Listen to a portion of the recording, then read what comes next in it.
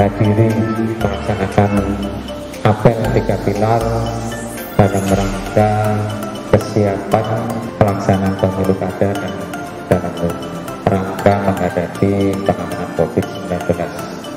Kabupaten Sumeneb ini bersangkutan Pak Nasibdi Pak Kabak terdiri dari 126 pulau pulau yang berpenghuni 48